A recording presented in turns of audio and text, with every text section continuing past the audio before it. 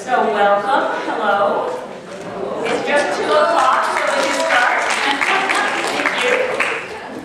And as uh, and most of you know, I think all of you know, uh, we, as your member of parliament, I hold a series of two rounds of town hall meetings every year. So uh, in every part of the riding, at least twice a year for town halls. Is the sound quality all right back there? Everyone hears all right, not too loud, not too, okay. And let me just start by asking if, uh, for any of you here, is this your first time at one of the uh, MP town halls? Anyone for first timers? Fabulous, wonderful, welcome. So then I will give a bit of a preamble.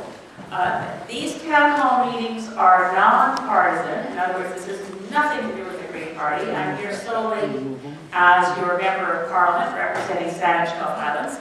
So whether, uh, whatever your political views, you're welcome, whatever your concerns about issues, everything is open for discussion. Uh, the reason I hold the town hall is that it's my firm belief that a member of parliament's boss is, that's very big boss, it's all the residents of the constituency. So in order to report to my boss, this is a tricky prospect, how do I know what my boss thinks, what my boss wants me to do? It is the best way, there, I use multiple uh, vehicles of communication. I think the best one is the town hall because it's very direct, it's very personal. But you'll also find that I've been sending you um, newsletters, hard copy through your mail slot. They always ask for feedback, so there's a feedback form there to let me know what you think about things. And my office staff in Sidney is also available to you if you have issues that are specific and personal. You can always uh, contact the constituency staff, and if you need to see me personally, we can set that up too. So as your member of parliament, it's a deep honor to represent you in Canada and recently in the world. A huge honor to uh, represent the voters and the constituents of Saanich Gulf Islands. So the format for these events, I try to take no more than an opening of about 20 minutes to run through what I have been doing in my in the capacity of being the Member of Parliament for Saanich Gulf Islands. Now, usually in the January round of meetings, I would be reporting on a full fall parliamentary agenda, legislation table, what's been going on in Parliament, usually since mid-September. This is an unusual town hall series through January because most of what I need to talk to you about uh, has happened outside of Parliament. Uh, the climate negotiations, uh, COP21, but I'll also tell you about what happened in Parliament in December. But we basically, in terms of the parliamentary agenda to report to you, it's um, less than uh, seven days and I wasn't there. So I, I will report on it though, because it's important. And then I open the floor to your concerns, uh, issues that you want me to follow up on in Ottawa, uh, or uh, questions about what I've been doing in more detail. So it's a very cursory summary uh, for the first 20 minutes, and then we'll open it up. So obviously, what happened before October 19th, we all know we were in an election not relevant to a nonpartisan town hall. Uh, with the appointment of the new cabinet, November 4th, we knew, I knew, as your member of parliament, who I'd be working with, who I'd be dealing with, and with whom I needed to speak on a whole range of issues. So, you know, it, before the election, I had a whole bunch of things on the hopper, whether it was talking to the Minister of Transportation repeatedly about issues of managing uh, the anchorages in Plumper Sound, for instance, or making Saanich Inlet a no discharge zone, or talking to the Minister of Environment about what we were going to do to get our marine protected area associated with uh, the Gulf Islands National Park and so on. So I started identifying cabinet ministers and working through them systematically. So I'm, I'm now through more than half the cabinet in terms of one-on-one -on -one meetings to raise issues that matter in this community as well as those that are uh, national and global. As you can imagine, in the first round of meetings, uh, quite a priority on those who had direct involvement in the climate negotiations, starting with the Prime Minister. I met with Justin Trudeau when he was Prime Minister-elect for about a half an hour on October 22nd uh, to make sure we, we started out on uh, what, what I felt were priorities around understanding the issues that faced Canada in the climate negotiations. Uh, so I, I will start with talking about COP21, and then I want to talk about uh, what else happened in Parliament, which gets back to the cabinet appointments, the speech the throne, and so on. And I know a lot of you will be very interested in the events of the climate negotiations, so feel free to ask more questions if you want to get more detail. I brought with me, um, well, not all of the paper, goodness knows, uh, the last four versions of the climate treaty as it was going through the process in Paris. So if you wanted to have a look, it, it just kind of gives you a sense, uh, you know, in, including the you know very evocative coffee stains, um, the constant scribbles. It was a it was a very difficult process, and we achieved in the 21st Conference of the Parties a stronger treaty than I thought we were going to have even halfway through the negotiations even on this version of the treaty, this is the, the, this is the Wednesday version, December 9th. This is the Thursday version, December 10th. And this is the final, the Saturday version, December 12th, the day after the conference was supposed to have been over.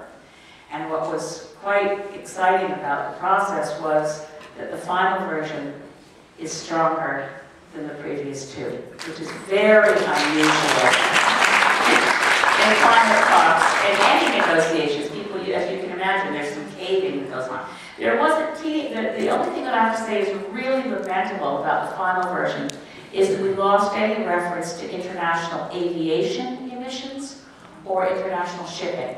But other than that, it's, it's, I think it's remarkable that the final version of the treaty is the first time that the language climate justice appears.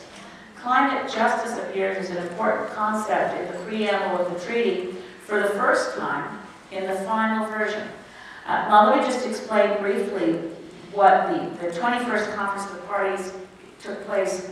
The parties are those uh, nations that have signed and ratified the Framework Convention on Climate Change, which was negotiated and signed and ratified by Canada in 1992.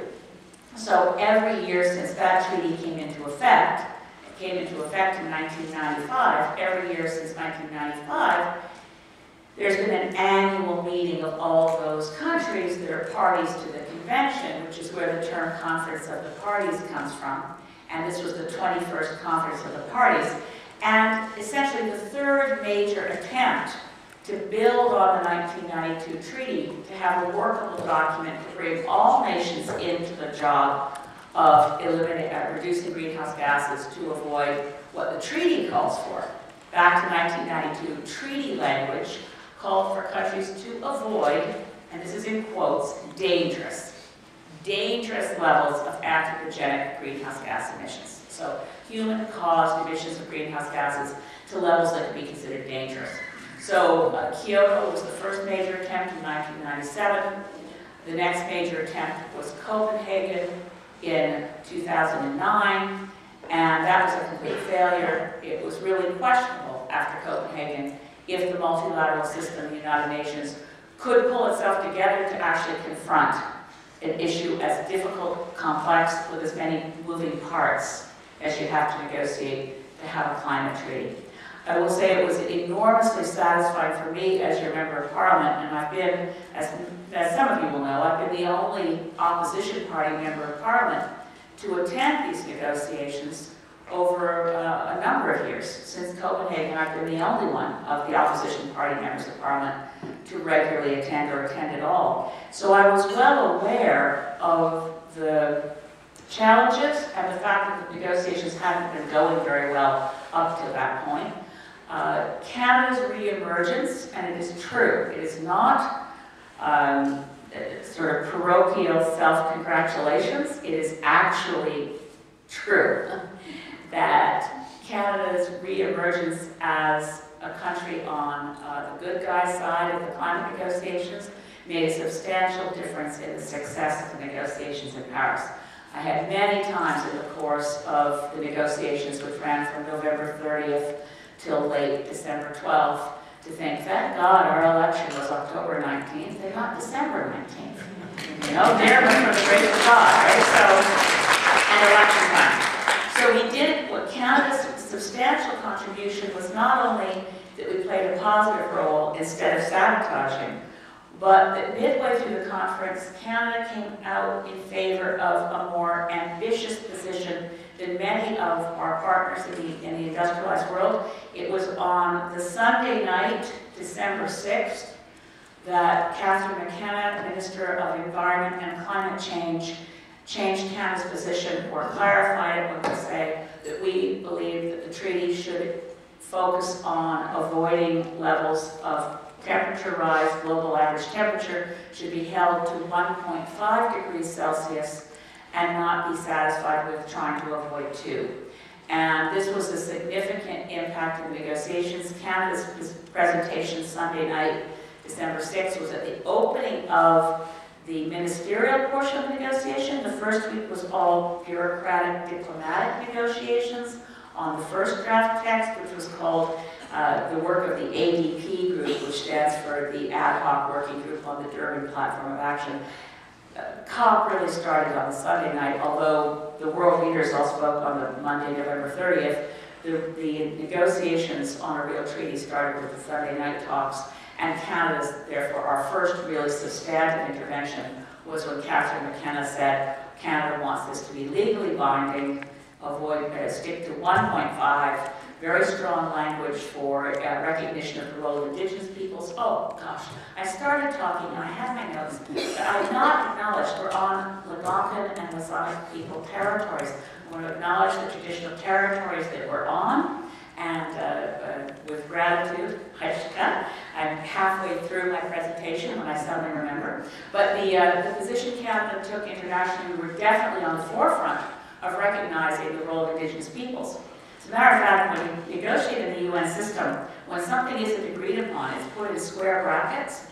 And in our initial interventions for recognition of indigenous peoples, which is in UN language a significant statement of sovereignty for indigenous peoples, because using peoples instead of people connotes sovereignty and nationhood as opposed to just a description of, of an ethnic group, for instance.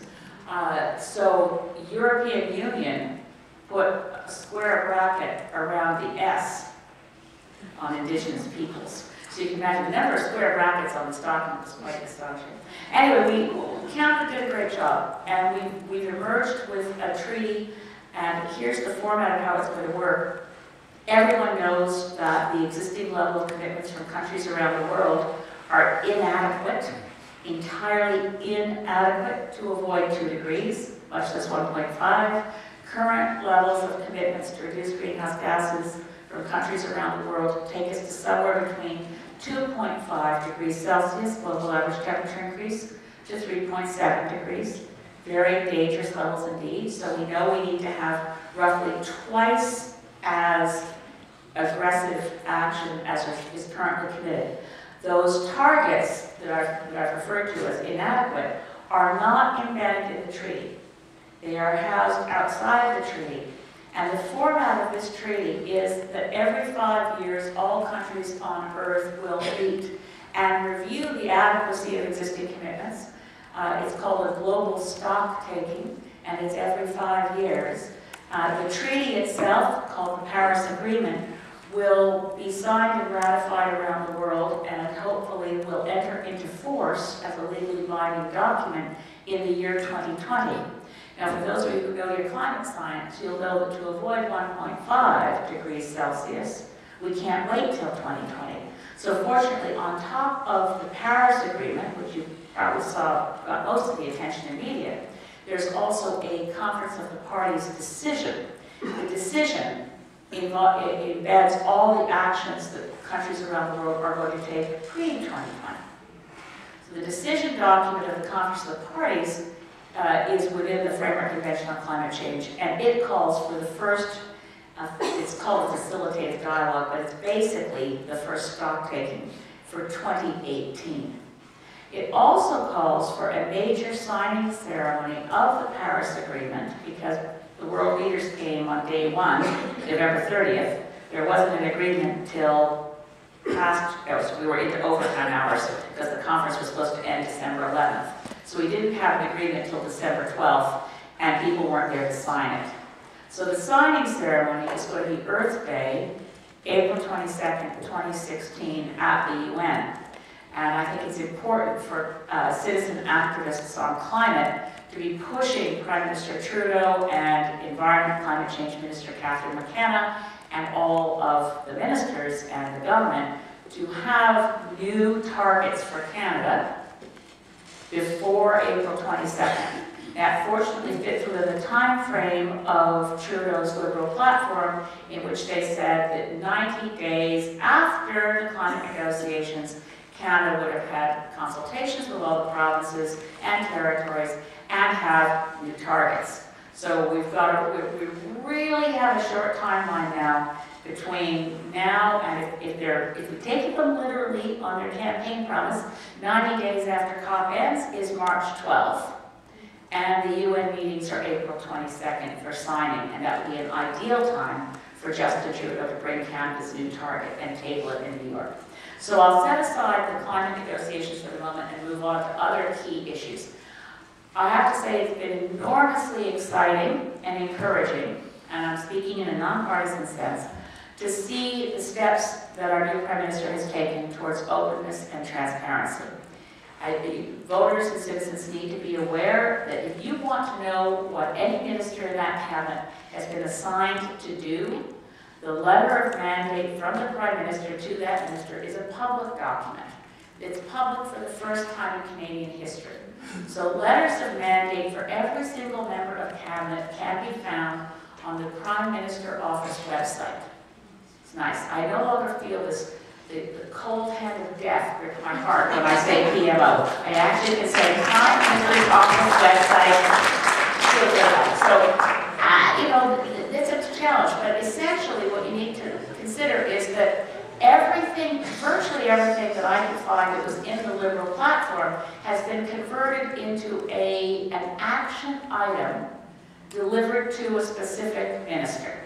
Now, as we know, it's a much smaller cabinet. So one of the things last night on the town hall on Salt Spring, one of the residents said, you know, it's a terrible shame there's no minister responsible for seniors issues anymore.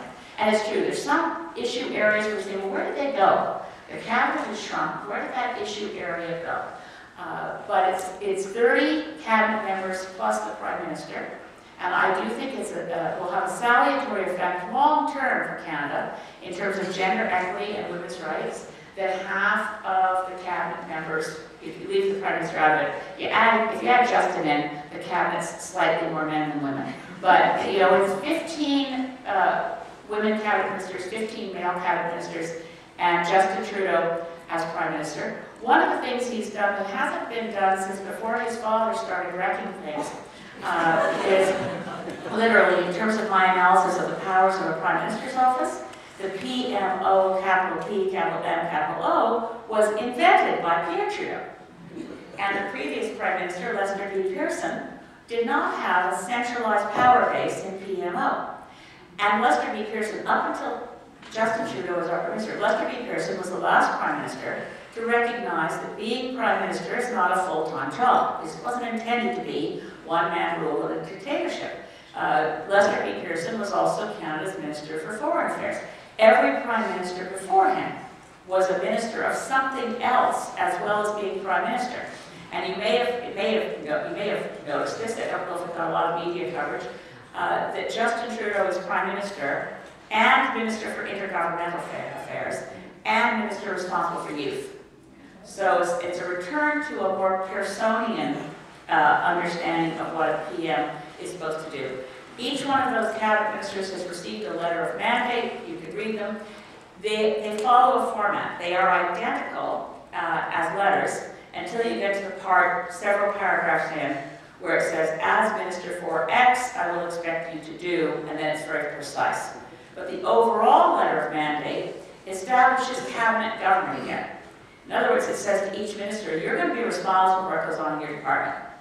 You're either going to perform or you're going to be moved. You're going to have to know what's going on in your department, and the mandate is for each cabinet cabinet minister to work well, be collaborative, and helpful to members of opposition parties, other colleagues in parliament, responsive to voters.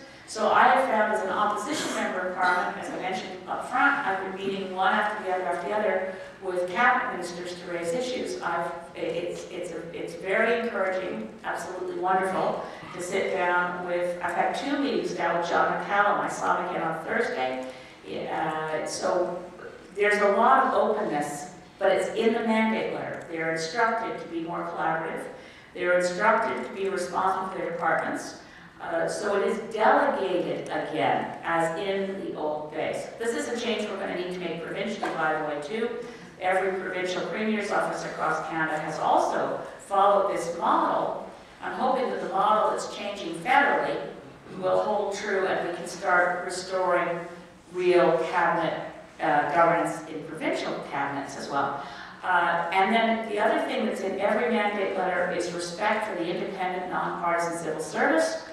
Uh, that the most important, one, beyond any other issue, stressed in every mandate letter is a renewed and new relationship with First Nations in Canada, Métis and Inuit peoples. It's also stressed that the challenges that the cabinet faces, the two that are really highlighted, are equity and defending the middle class and climate change. So every single mandate letter reflects concern for Indigenous peoples, climate change, middle class, and respect for civil service and operating with a new, more open, transparent, and accountable approach. These themes were also uh, reflected in the speech from the throne.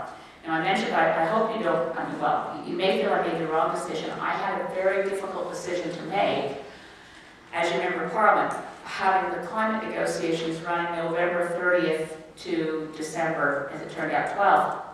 The opening of Parliament, speech from the throne was December 4th, uh, and there were a few more days in Parliament the following week. Uh, Catherine McKenna, uh, having been in Paris at the opening of negotiations where Justin Trudeau and Stéphane Dion were also there, so too were Tom Mulcair, and we were all as opposition party leaders invited to be members of our own Canadian government delegation, as was the case in years past. But they went back when Parliament reopened. Uh, only Catherine McKenna returned for the negotiations. Uh, and, and by the way, Nathan Cullen for the NDP came back uh, for the final week of negotiations as well. Uh, it was a difficult decision not to come back for the speech for throne, but I, I decided I actually had things I had to do as an individual for COP21, and I figured they could do the speech from the throne without my help. Turned out that was true. But I did follow it closely. So the speech from the throne, of course, is the government's agenda. And again, it reflects very closely some of the issues I've already mentioned. Uh, there are five key areas of the speech from the throne. One spoke to social issues, middle class tax cut, the need for a new health accord, working with the provinces to reform Canada pension plan, uh, finding ways to reduce the cost of post-secondary education, and bringing in uh, reforms to employment insurance and a few other small things. The second piece, which is large and important, is open and transparent government. Now, the minister responsible for uh, democratic institutions is a brand new member of parliament from Peterborough. Her name is Maryam Monsef. But the open and transparent government piece is virtually all her responsibility areas. Uh, electoral reform, getting rid of first past the post. Reforming the way people are appointed to the Senate. Uh, a, a, more uh, non-partisan Senate, and then some of the other things are really in the category of Dominic LeBlanc's government house leader. A commitment not to misuse prorogation and not to use omnibus bills. The third piece was clean, yes, it's wonderful. No more omnibus bills. Crazy, yeah. So it's good that it's in the speech from the throne and in the mandate letters. Clean environment, strong economy, uh, another key piece. But in addition to that, there was a commitment around, some, around parks, and I already met with Catherine McKenna at this point and did stress with her the importance of completing what's called the Southern Strait of Georgia, what we think of, you know, our Gulf Islands National Park, and having a marine component. Uh, the fourth piece is diversity. That's where the commitment to the Truth and Reconciliation Commission is referenced and implementing those recommendations, and of course the Syrian refugee issue. And as well in that section of speech from the throne is a renewed commitment to funding the CBC and supporting cultural and creative industries in Canada. That's also about The fifth and final piece is around security, uh, with a specific commitment to restoring more Canada's traditional role in peacekeeping, uh, and a discussion of reviewing C-51, but didn't say repeal it, so I have to work on that, and then trade deals, pursuing trade deals to benefit Canada. So that's a very quick run-through of what's happened since the election. I'm going to stop there. I'm, I'm grateful to so many of you for coming out for the first of the town halls of this session. Uh, Just to let you know, the regular schedule will resume, which means the next town hall will be to report on everything that happens between January 25th, when Parliament reopens, and whatever happens through the spring session of Parliament, and that will be held sometime. We, I hold another round of town halls between Labor Day and when Parliament resumes in mid-September. So that's the general schedule of getting to see all of you at least twice a year. So I'm, I'm happy to answer any questions. So I'll go to the next question. Thanks. Um, I wrote it down so I won't forget. My name is Sam Vekemans. I'm one of the people behind the cannabis e-petition. Um, Michael Dempsey, the Green Party candidate for Oshawa, received your response on December 20th regarding the support for this petition. So uh, I've been in contact with him, and he wants to know that, or he wanted to know that your Minister of Stuff is grateful for your assistance in pushing forward this matter. So I wanted to confirm your support and ask if I can go ahead and uh, click on submit on the petition's website. So um, would you be able to confirm their support? Which petition? I've approved a whole bunch of e-petitions so far. This is for cannabis. Oh, yeah, yeah, that's fine. Yeah, the, that's the, the e-petitions, by the way, was something that until very recently, a petition, and you've signed zillions of them here in various town hall meetings, and I've always made the point that I can't submit a petition unless it's hard copy. We've now changed that, and we can now have e-petitions that are submitted. So I've approved e-petitions for protecting our southern uh, uh, population of, um, of orchids. We've uh, approved petitions on cannabis, approved, so anyway, there's a bunch of e-petitions that are now, words, electronic petitions that are now approved through my member of parliament website.